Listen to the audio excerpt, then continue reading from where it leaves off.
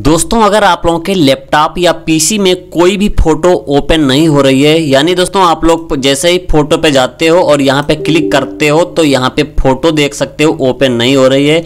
कोई सी भी हम अगर फ़ोटो पे क्लिक करेंगे तो दोस्तों, आप लोग देख सकते हो, फ़ोटो मेरी ओपन नहीं हो रही है। एक और हम आप लोगों को ओपन करके दिखा देते हैं। देख सकते हो इसमें कुछ ना कुछ दोस्तों लिखा आ रहा है, लेकिन फ़ोटो हमारी ओपन नहीं हो रही है। ऐसे हालत में आप लोगों को क्या करना है? बिना टाइम वेस्ट किए आप लोगों को डायरेक्टली हम सिखा देते हैं कि कैसे आप लोग इस प्रॉब्लम का कैसे आप लोग इस प्रॉब्लम को सही कर सकते हो दोस्तों? इसके लिए आप लोगों को क्या करना है? हम यहाँ पे चलते हैं सर्च बार के पांचर दोस्तों, यहाँ पे आप लोग दे सकते हो। स्टार्ट पे यहाँ पे क्लिक करेंगे, ऊपर आप लोगों को सर्च पे जाना है और यहाँ पे सेटिंग का ऑप्शन मिल जाएगा। अगर आप लोगों को नहीं मिल रहा है तो आप लोग यहाँ पे लिख करके भी सर्च कर सकते हो। दोस्तों, हम यहाँ पे लिख लेते हैं यस ई डबल टी दोस्तों दे सकते हो यहाँ पे सेटिंग का ऑप्शन आ गया है। इस पर हम सिंपली क्लिक कर लेते हैं।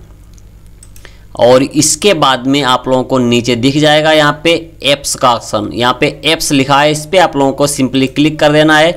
जैसे ही क्लिक करोगे तो दोस्तों यहाँ पे आप लोगों को दिख जाएगा अनइंस्टॉल एप्स दोस्तों यहाँ पे आप लोगों को क्लिक कर देना है। जैसे ही हम यहाँ पे क्लिक करेंगे तो यहाँ पे सभी एप्लीकेशन आप लोगों की लैपटॉप पे सामने दिखना स्टार्ट हो जाएगा और आप लोगों को नीचे चले जाना है।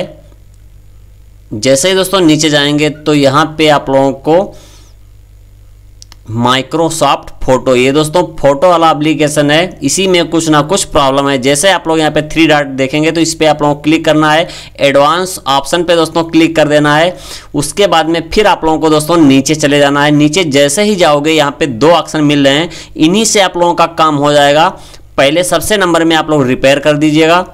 और रिपेयर करने के बाद में आप लोग अपनी फ़ोटो को ओपन करोगे तो दोस्तों ओपन होना स्टार्ट हो जाएगा। और नहीं हो रहा है तो आप लोग रेस्ट भी कर सकते हो यहाँ से।